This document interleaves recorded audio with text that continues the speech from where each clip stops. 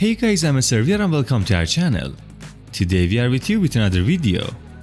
In this video, we are gonna watch the latest news of Hande and Kerem.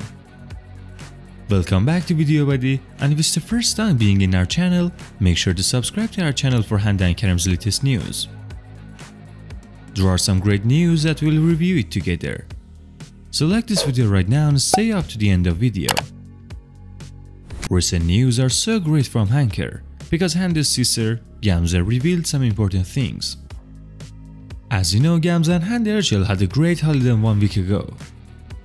They went to great places and had so many fun and fantastic moments.